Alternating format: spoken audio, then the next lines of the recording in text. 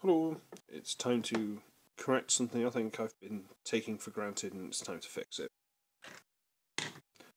Age of Extinction Drift. It was bound to happen sooner or later and I've been keep well, I've kept using him as size comparison and it's not fair. Because not a great figure, but not a terrible figure. I think the distinction needs to be made. Especially considering they've just painted him red and re-released him, which I think is incredibly lazy. But whatever. So, this is Drift. Do I need to do a size comparison? I've used him as a size comparison for, yeah, months and maybe even a year. I don't know. But we'll, we'll use a size comparison. And for argument's sake, we'll use Robots in Disguise, uh, in Disguise Drift. Okay? So, apart from the spoiler, he's roughly the same size as the Robots in Disguise version. Uh, different shape, obviously, but roughly the same size. Maybe ever so slightly shorter and slightly, uh, what's called? Narrower? I say slightly not wider because I've only just woken up and my brain's not working. Yay! there he is. And if you didn't know by now, this is what is known as a Bugatti Veyron, which usually look better because the uh, spoiler can slide in and out, whereas this, for uh, purposes, is permanently out, which is slightly sad. But even then, because uh, if you imagine that, how sleek this would be without that, oh, oh, yeah. But even then, it's still quite pretty. These are, this uh, actually comes out automatically when you go in too fast to uh, extra downforce on your rear end, so you get more traction. But still, um, so that means he's going really, really fast all the time, even when he's parked or it's broken. Uh, so here he is, and he, yeah, he's he's nice. He's got all the little detail. You know, a silver would have been nice there, but quite frankly, who cares? Uh, you know, headlights, grill, all the rest of it. It's all very well, nicely done. Little really black Autobot symbol there. Petrol tank another petrol tank. Maybe it needs it. It's a gas guzzler. Who knows? There's a little sort of looks like a backwards three, but I'm guessing it's the Bugatti symbol there. Split because it's over the two pieces, but whatever. And yeah, he said he's he's quite a nice little thing. You might be able to just make out the face in there. Oh well. Oh well. And look, Swords! Because I've never seen swords on the bottom of a Transformer before. That would be foolish. One, two. Swords. Right, so we pop the swords off. Transformation. I haven't done this for a while, I need to actually remember. Right, you pop these side pieces loose and just double hinge them onto there. Side piece loose, double hinge onto there. Ah. And you... I think? Yeah. You get hold of the bonnet and you just sort of pop it loose from the wings. Loose. Loose. Is it? Sorry, I'm trying to remember this myself. Aha! Yeah, there you go. Right. The bonnet piece, uh, sorry, the very front grille and this piece does stay. This piece comes separate. And it should separate this, which actually pegs on in there as well. So you got this. The entire alt mode, as is tradition now. Should bring this up slightly? Bring this up slightly. There we go. So you've got this, and for argument's sake, there's a double hinge under here. Double hinge that onto there, and that will deal with it in a minute. And we'll rotate it while we've got the chance. So this is the front of the car, because it's still got the grille. And then this is just mess on top. But whatever. So we shall bring out the arms and bring them down on a hinge that's in there out slightly. Out slightly. Then you bring this whole piece down, and it'll bring with it to the back there the head, which you then bring forward.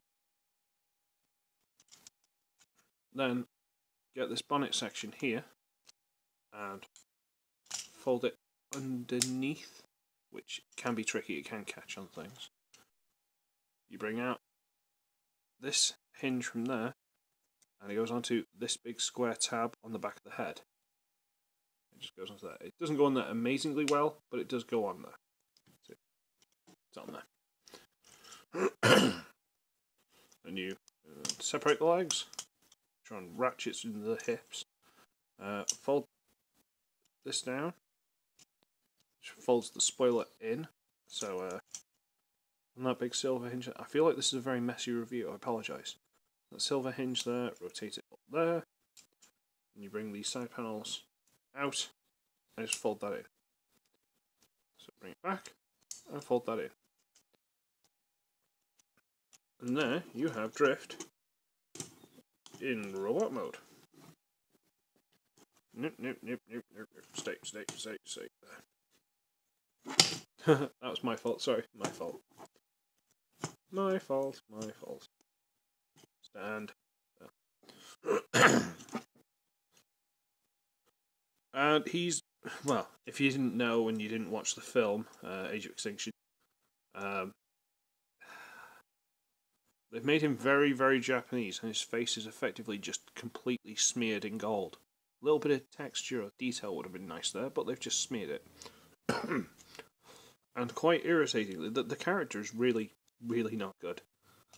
Keeps calling Optimus Sensei, which is really painfully, painfully depressing.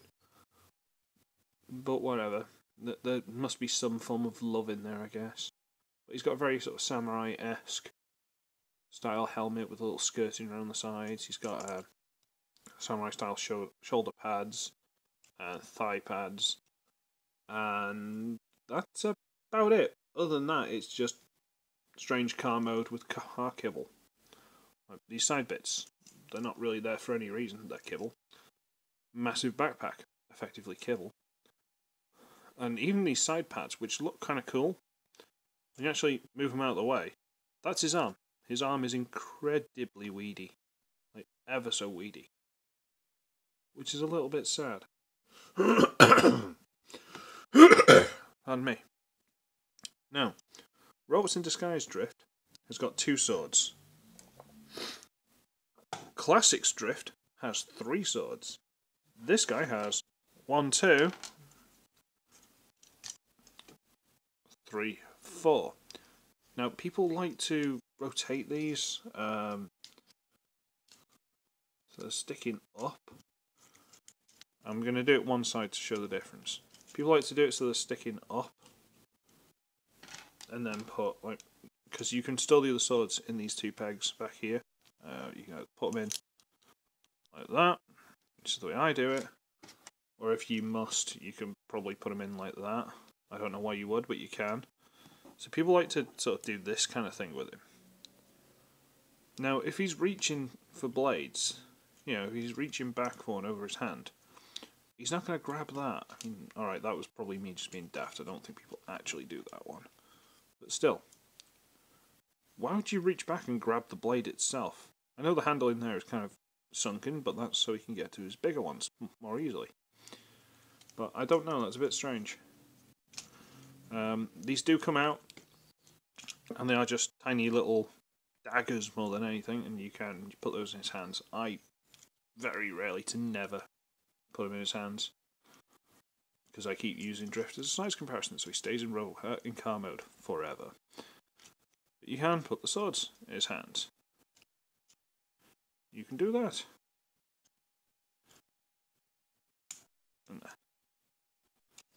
And, they are quite nice swords. Quite nice indeed. And he's got, uh, considering how small this is, he's got um, elbow swivel. I don't know. Forearm swivel. He's got ratcheted elbows. I, have just said the word and I completely forgot. And he's got a little bit of in and out with the wrist. So he's got the articulation. He's got forward and backwards legs, although they only go so far because of the massive uh, hip pads. He's got swivel. He's got a knee, which ratchets, and a little bit in the foot because of the uh, transformation.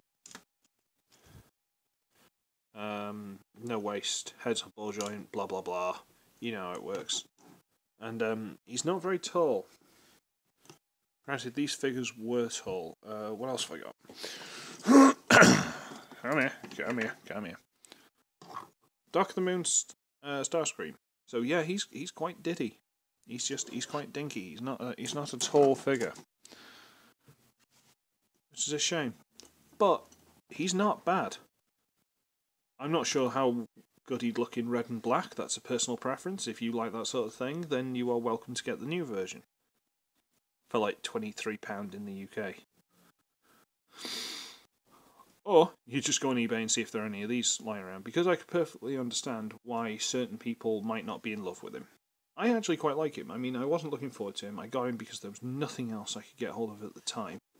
It was that awkward time when all the figures you were yeah, you wanted you couldn't get hold of, and all the figures you're a bit eh were just plentiful and filling up all the shelves. So you end up getting a few of them, and this is one of the ones I got. But I actually quite like him. I do. I genuinely do. He's actually quite nice. Um, I was just going to do a massive all three drift reviews, and yes, they do look quite nice together as one big sort of like drift combat team. But quite frankly, transforming this one's a nightmare, and I didn't want to do it. So, drift he's actually quite nice. He's he's weird. He's daft. If you know what you're getting and you still like it, then you're gonna like it. If you look at this and you think, uh, not sure about that, not sure about that, then you probably won't like it. It's as simple as that. There's no, you know, there's no black. It's black and white. There's no grey area. I mean, even the backpack, which is reasonably flush to the body, but it is just like the entire car mode. It it is quite lazy. Yeah, whatever. So yeah, that's uh, an official figure. This is a figure who has been relegated to size comparison duty for quite some time. I'm going to have to pick another one now. Hmm. But that's for me to think about, and you can all go about and enjoy your day. So I should be ugly, I should be wretched, and I shall see all of you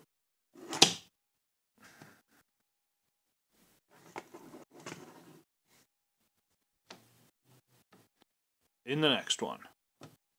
I've got some pretty good stuff at the minute for you guys. Ooh, you are spoiled. Bye.